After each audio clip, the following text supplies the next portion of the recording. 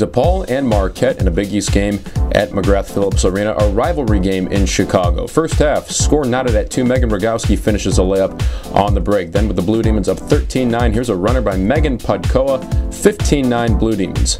21 all at this point. Seven minutes to go first half. Jasmine Penny count the bucket and the foul. The Blue Demons would not trail the rest of the game. On the break, Brittany Hrynko takes the feed from Chanise Jenkins, one of 10 assists, a career high, ties a career high for Chanise Jenkins. Megan Rogowski, there's a three from the wing.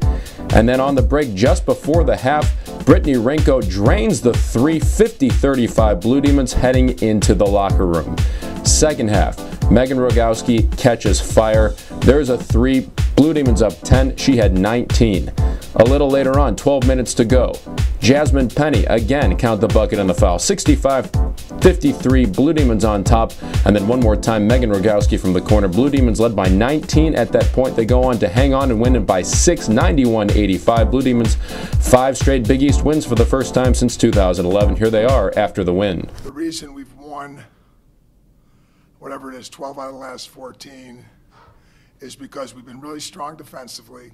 We've been really rebounding the ball well as an undersized basketball team.